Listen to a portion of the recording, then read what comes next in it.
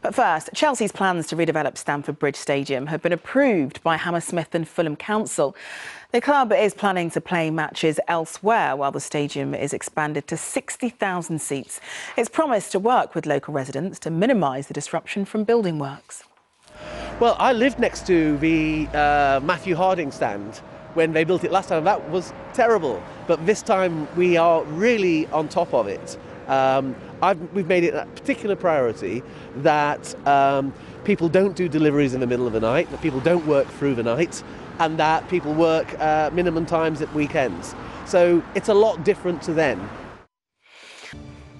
But first, Chelsea's plans to redevelop Stamford Bridge Stadium have been approved by Hammersmith and Fulham Council. The club is planning to play matches elsewhere while the stadium is expanded to 60,000 seats. It's promised to work with local residents to minimise the disruption from building works.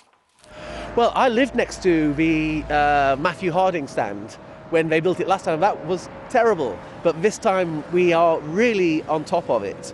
Um, we've made it a particular priority that um, people don't do deliveries in the middle of the night, that people don't work through the night, and that people work uh, minimum times at weekends. So it's a lot different to then.